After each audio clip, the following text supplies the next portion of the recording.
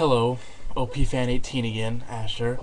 Um, this is a response to Natalie White's video, well, Pumashock, as people call her.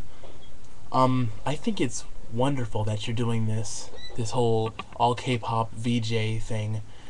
Um, for those of you who don't know, here are the prerequisites. Basically, Mnet, in a collaboration with Allkpop, are looking for a VJ for a two-hour daily K-pop TV show premiering on Mnet this fall. The show will be hosted by an English-speaking VJ and will include the latest K-pop music videos as well as K-pop news and trends. That's like we've needed that. I've been looking forward for something like this all the time. And as much as I'd want to try out, like I know enough. I've been into K-pop for the past one and a half, almost two years now and I really enjoyed it. I know a lot about K-pop. I can do a lot of the dances. I know some of the words. I, I can't really sing that well, but I know some of the words. And like, yeah, I, I would think this would be a great opportunity, but I, I don't know. I would want to try out, but I kind of don't because like also people like Natalie White, they deserve it more. Like, she she's a really hard worker. She's been she was on. I remember when I saw her on Star King I was like, isn't that the girl that sung that Gee video? The the Gee um she did Gee in her own style, a remix, like a like a almost like an R R and B remix, and I was like, that was it's on my iPod by the way. I had five different versions of I have six different versions of Gee, and that's one of them, and I thought that was really amazing. and anyway, back to this allkpop thing. Let's see. All K-pop fans are welcome to participate. No prior TV experience necessary, but the ideal person must have the following qualities: passion for K-pop, I obviously an extent knowledge of the K-pop world.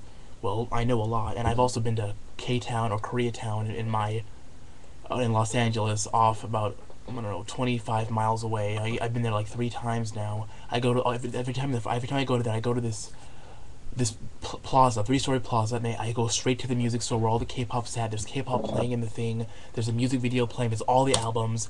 I have a 2PM album, and I have a Girls' Generation album I got from there and I'm gonna get a poster soon. Um, have to be fun and energetic. I'm fun and energetic, as you can see in all my videos. Um, full of personality. Well, you can see by my videos that I'm. I do lots of things. I talk about lots of things. I rather well know lots of things. Let's see how to apply. Interested applicants must submit an audition video less than five minutes in length. You may upload the video to YouTube and send the link along with your name, name, age, address, and the date of and day of time telephone number to info blah blah blah. Entries must be received by August 12, 2011. That's tomorrow. The audition video must include an, an introduction, ugh, name, age, the city where you live, reasons why you think K-pop, whoops, reasons why you think you would make a good VJ for Mnet, who your favorite K-pop artists are. My favorites, Girls' Generation, hands down. I guess I guess um SM Town all of the SM groups. Big Bang, Super Junior, of course, love them. Um, Kara, Girls' Day, they're a new upcoming group. I love them. Their music's good. Um, Secret, and they're also a good group. Also, B2ST or Beast and Black. I I'm into a lot of them. But I guess Girls' Generation, Super Junior, and a lot of the mainstream ones are my favorites. And let's see, a song and dance routine from your K-pop artist. Well, I can sing some lyrics, but they probably won't be good. I can do a dance, like on, on one of my other previous videos. I did a a little. I was sitting in this chair singing and dancing to Gee. Embarrassing, nonetheless, but hey.